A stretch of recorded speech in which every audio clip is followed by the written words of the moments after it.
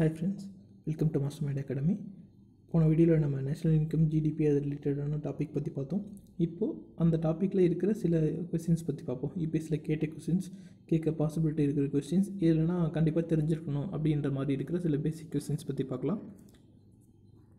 First topic first question in the context of Indian economy, consider the following statements the rate of the growth rate of GDP has steadily increased in the last five. கடைசி அஞ்சு வருஷத்தில் GDP ஸ்டடியாக increase ஆயிருக்கா அப்படின்னு கேட்டால் இல்லை குறைஞ்சிருக்கு. Growth growth rate in per capita income has steadily increase in last five years per capita income வந்து ஜென்ரலாக இன்க்ரீஸாக தான் இருக்கும் ஆக்சுவலி ஸோ ஏன்னா பணக்காரங்க பணக்காரங்க ஆகிட்டே இருப்பாங்க ஸோ ஆவரேஜாக பார்க்கும்போது பர் கேபிட்டா இன்கம் இன்க்ரீஸ் ஆன மாதிரி தான் தெரியும். இது வந்து முன்னாடி கேட்ட கொஸ்டின்ஸ் அந்த அந்த கேட்ட பீரியடில் வந்து இது ஆப்ஷன் பி மட்டும் கரெக்டாக இருந்தது. இப்போவும் இது ஆப்ஷன் பி கரெக்டாக தான் இருக்குது ஸோ பர் கேபிட்டா இன்கம் மட்டும் கிராஜுவலாக இன்க்ரீஸ் ஆகிருக்கு பட் ஜிடிபி இன்க்ரீஸ் ஆகலை. Next with reference to Indian economy consider the following statements the rate of growth of real gross domestic product has steadily increased in the last decade real domestic product ஸ்டெடியாக increase ஆகிருக்கு அப்படின்னா இல்லை அப்படின்னு தான் சொல்லணும். ஏன்னா ஜிடிபியும் ஸ்டெடியாக இன்க்ரீஸ் ஆகலை ரியல் ஜிடிபியும் ஸ்டடியாக இன்க்ரீஸ் ஆகலை. Next gross domestic product at market price has steadily increased இந்த last decade gross domestic product increase ஆயிருக்கா அப்படின்னு கேட்டால் மார்க்கெட் அட் மார்க்கெட் ப்ரைஸு ஆமாம் ஆக்சுவலி இன்ஃப்ளேஷனால் மார்க்கெட்டில் இருக்கிற ப்ரைஸ் வந்து கண்டிப்பாக இன்க்ரீஸ் தான் ஆயிருக்கும். ஸோ ஜிடிபி அட் மார்க்கெட் ப்ரைஸுன்றது இன்க்ரீஸ் ஆயிருக்குன்றது உண்மை தான் ஏன்னா இன்ஃப்ளேஷனால் விலை ஏறிக்கிட்டே தான் இருக்குது எப்போவுமே.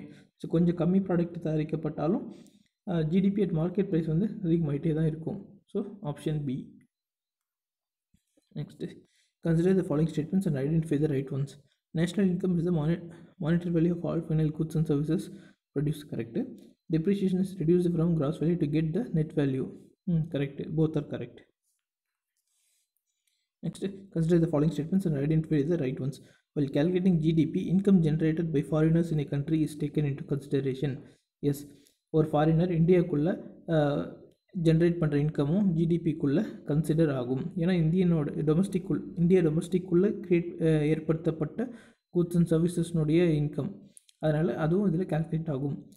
uh, GDP income generated by nationals of a country outside the country is taken into account okay ஜிடிபின்றது டொமஸ்டிக்னு சொன்ன மாதிரி அதனால் மற்ற கண்ட்ரீஸில் இந்தியன்ஸ்னால் ஏற்படுற அமௌண்ட் இதில் இன்க்ளூட் ஆகுமா அப்படின்னு கேட்டால் இன்க்ளூட் ஆகாது. Income generated by nationals of a country outside the country அது ஜிடிபியில் வராது. அது ஜிஎன்பியில் வரும். கிராஸ் நேஷ்னல் ப்ராடக்டில் தான் வரும். So option one one only next net value of GDP after detecting depreciation from the GDP's ஜிடிபியில் depreciation குறைஞ்சதுன்னா கிரா NDP net domestic product so கிராஸ்லேருந்து depreciation குறைஞ்சா net next consider the following statements and identify the right ones while calculating GNP income generated by foreigners in a country is taken into consideration ஜிஎன்பினா gross national product national அப்படின்னா வெளிநாட்டிலையும். Income generated by foreigners in a country is taken into consideration foreigners இந்தியாவுக்குள்ளே ஒரு income generate பண்ணாங்கன்னா அது ஜிஎன்பியில் calculate ஆகுமா அப்படின்னா ஆகாது. ஏன்னா அது ஜிடி ஜிடிபியில் கேல்குலேட் ஆகிருக்கும் அதனால் ஜிஎன்பியில் ஆகாது. Next While calculating GNP gross national product income generated by nationalist of a country out the the is taken into account. Account as gross national product அப்படின்னாக்க இந்தியர்கள் வெளிநாட்டில் பணம் சம்பாதிச்சா அதுவும் கேல்குலேட் ஆகும். வெளிநாட்டவர் இந்தியாவில் சம்பாதிச்சு எடுத்துகிட்டு போனால் அது மைனஸ் ஆகும்.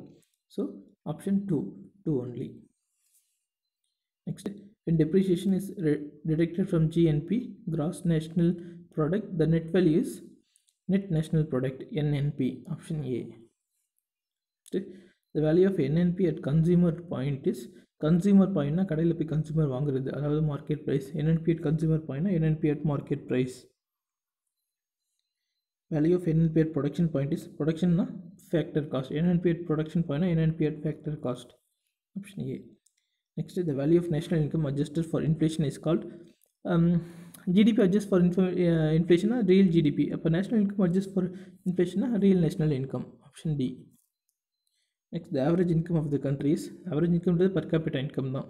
ஸோ டிவைட் பை பாப்புலேஷன் போகிறோம் per capita income option A A closed economy is an economy in which ஒரு ஒரு கண்ட்ரிலேருந்து இம்போர்ட் எக்ஸ்போர்ட் எதுவுமே நடக்கலைன்னா அது க்ளோஸ்ட் எக்கானமின்னு சொல்லுவோம். Option D neither exports nor imports takes place next economic growth in a country will necessarily have to occur if uh, there is a technical progress in the world economy. World எக்கனாமியில் technical progress ஆனால் இந்த கண்ட்ரியில் ஆகணும்னு அவசியம் இல்லை. Population growth கண்ட்ரியில் ஆகுச்சுன்னா economic growth ஆகணும்னு அவசியம் இல்லை. There's capital formation in X capital form ஆகுது அப்படின்னா கண்டிப்பாக எக்கனாமிக் க்ரோத் இருக்குன்னு அர்த்தம்.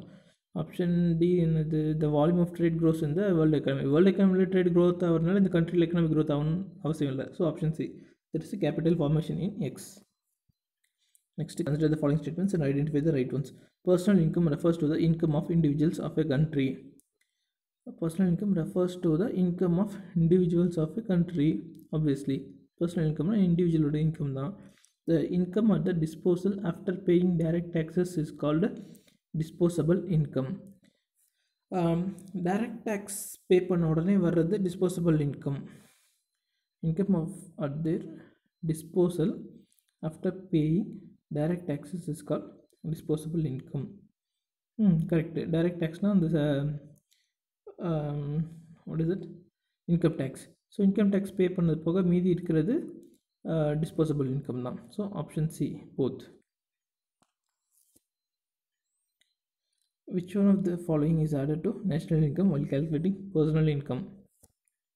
So national income கூட எது சேர்த்தா பர்சனல் இன்கம் வரும் அப்படின்னு கேட்குறாங்க நேஷ்னல் இன்கம் கூட சில ட்ரான்ஸ்ஃபர் ஆஃப் பேமெண்ட்ஸ் நமக்கு நடக்கும்.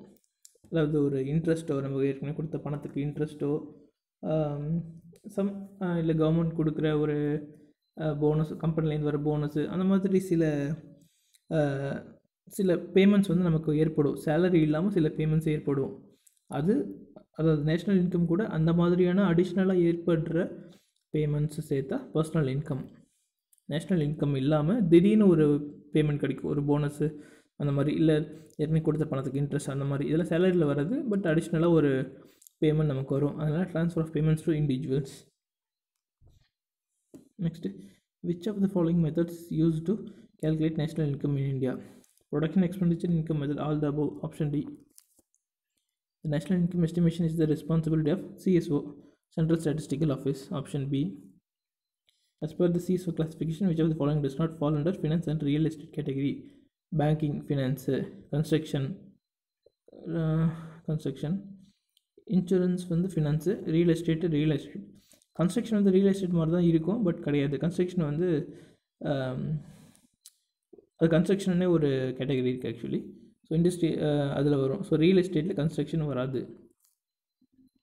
Next as per these classification which of the following the not follow not fall electricity uh, power generation industry gas and water s- industry transport and communication uh, industry கிடையாது service transport and communication வந்து service sector industrial sector கிடையாது consider the following statements and identify the right ones the data for national income and per capita income are calculated at current prices ஆமாம் ரெண்டுமே current ப்ரைஸ்க்கு தான் first calculate பண்ணுவாங்க they are deflated using the deflated index to get the value of constant price deflator அப்படி இந்த GDP deflator அதை வச்சு actual GDP divide by real GDP into hundred அதை வச்சு அது எவ்வளோ டிஃப்ளேட் ஆயிருக்கு அப்படின்னு சொல்லி அப்போ தான் அந்த கான்ஸ்டன்ட் ப்ரைஸ் எவ்வளோன்றதை கண்டுபிடிப்பாங்க the most appropriate measure of a country's economic growth is per capital real income அதுதான் most appropriate indicator gross capital formation will increase if gross domestic savings increase saving increase பண்ணால் capital increase ஆகுமா? கிடையாது. Gross domestic consumption increase ஆனால் consumption increase ஆனால் கவர்மெண்ட்டுக்கு நிறைய பணம் கிடைக்கும். ஸோ கேபிட்டல் இன்க்ரீஸ் ஆகிறதுக்கு சான்ஸ் இருக்குது டூ கரெக்டு தான். ஜிடிபி இன்க்ரீஸ் ஜிடிபி இன்க்ரீஸ் ஆனால் கிராஸ் கேபிட்டல் இன்க்ரீஸ் ஆகுமா? ஜிடிபின்றது ப்ரொடக்ஷன் பொருளை தயாரிச்சிட்டாங்க. தயாரிச்சிட்டா மட்டும் கிராஸ் கேபிட்டல் இன்க்ரீஸ் ஆகிடுது அது விற்கணும் ஸோ த்ரீ சொல்ல முடியாது. ஆப்ஷன் டூ டூ ஒன்லி ஒரு ஆப்ஷன் கிடையாது. அதனால் ஆப்ஷன் டி நன்னா. Next consider the following statements India's GDP is more than its GNP ஜிடிபினா gross domestic product ஜிஎன்பினா கிராஸ் நேஷனல் ப்ராடக்ட் நேஷ்னல் ப்ராடக்ட்டில் ஜிடிபி ப்ளஸ் இந்தியர்கள் வெளிநாட்டில் சம்பாதிச்சது மைனஸ் வெளிநாட்டவர் இந்தியாவிலேருந்து சம்பாதிச்சு எடுத்துகிட்டு போனது. நமக்கு வந்து um, நெகட்டிவ் தான் ஆக்சுவலி இந்த இம்போர்ட் மைனஸ் எக்ஸ்போர்ட் வந்து நெகட்டிவ் வேல்யூ தான். நம்மக்கிட்ட இம்போர்ட் பண்ணுறத விட நம்ம எக்ஸ்போர்ட் பண்ணுறது நம்ம நான் எக்ஸ்போர்ட் பண்ணுறத விட இம்போர்ட் பண்ணுறது தான் அதிகம். ஸோ அது ட்ரேட் டெஃபிசிட் தான் நமக்கு இருக்குது அதனால் ஆப்வியஸ்லி ஜிடிபி வந்து ஜிஎன்பியோட அதிகமாக தான் இருக்கும். ஆப்ஷன் ஒன் வந்து correct next net factor income from abroad is positive for India இல்லை நெட் ஃபேக்டர் ஆஃப் இன்கம் தான் இப்போ தான் சொன்னோம் ட்ரேட் டெஃபிசிட்டில் இருக்கும் நம்ம ஆல்ரெடி ஸோ அது நெகட்டிவ் தான் நமக்கு. So option one A only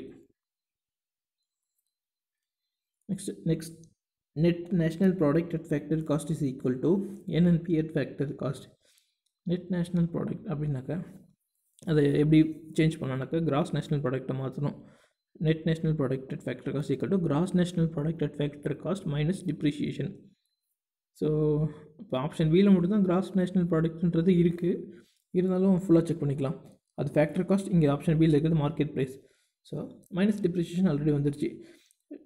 cross national product minus டிஃப்ரி gross national product at factor cost minus depreciation இப்போ அந்த gross national product at factor காஸ்ட்டை மார்க்கெட் ப்ரைஸ்க்கு மாற்றணும் அதாவது gross national product at factor cost is equal to gross national product at market price minus taxes plus subsidies option B தான் correct so factor cost ப்ரொடக்ஷன்லேருந்து தயாரிக்கப்பட்ட ஏற்கனவே அந்த example ஒரு காட்டன் எக்ஸாம்பிள் சொல்லியிருப்பேன். போன வீடியோவில் நூறுரூபா ஒரு சட்டை வெளியில் வருது. அதாவது ப்ரொடக்ஷன் காஸ்ட்டு ஃபேக்டர் காஸ்ட்டு அது ஈக்குவல் டு என்னவாக இருக்கும் அப்படின்னாக்கா ஒரு கன்சியூமர் ஒரு பர்சன் வந்து அவங்ககிட்ட எண்பது ரூபா தான் கொடுத்து வாங்கக்கூடிய தகுதி இருக்குது ஸோ எண்பது ரூபா கொடுத்து வாங்குவான். ஸோ அந்த எண்பது ரூபான்றது மார்க்கெட் ப்ரைஸு அப்போ ஃபேக்ட்ரி காஸ்ட் என்னது? இந்த மார்க்கெட் ப்ரைஸு எண்பது ரூபா மைனஸ் இன்டைரக்ட் டேக்ஸஸ் இந்த டேக்ஸை வந்து அந்த பொதுமக்கள் பே பண்ணுவாங்க. ப்ளஸ் சப்சிடிஸ் அந்த இருபது ரூபா கவர்மெண்ட் இவனுக்கு கொடுக்கும். ஸோ ஃபேக்ட்ரியிலேருந்து வரும்போது நூறுரூபா நூறுரூபான்றது எண்பது ரூபா plus tax plus subsidy sorry எண்பது ரூபான்றது நூறுரூபான்றது எண்பது ரூபா மைனஸ் டேக்ஸ் ஏன்னா இனிமேல் தான் அவன் டேக்ஸ் பே பண்ணும் கன்சியூமர் வாங்கும்போது தான் டேக்ஸ் பே பண்ணுவான் ஃபேக்ட்ரியிலேருந்து வெளியே வரும்போது டேக்ஸ் இன்னும் கேல்குலேட் பண்ணல. ஃபேக்ட்ரியோட காஸ்ட் வந்து நூறுரூபா நூறுரூபான்றது எண்பது ப்ளஸ் இருபது மட்டும்தான் இருக்குது இன்னும் டேக்ஸ் இன்க்ளூட் பண்ணல. ஸோ எயிட்டின்றது மார்க்கெட் ப்ரைஸு ஜிஎன்பிஆர் மார்க்கெட் ப்ரைஸு டுவெண்ட்டின்றது சப்சிடி இன்னும் டேக்ஸ் இன்க்ளூட் பண்ணல. ஏன்னா கன்சியூமர் தான் பே பண்ணுவோம் அதனால் minus indirect taxes The national income of a country for a given period is equal to uh, total value of goods and services produced by the nationals. Obviously, option A. D வந்து சிமிலராக இருக்கிற மாதிரி இருக்கும். Money value of final goods and services produced but இது நேஷ்னலாக அவுட்டரான நான் நேஷ்னல்னு சொல்லலை. So option A total value of goods and services produce by the national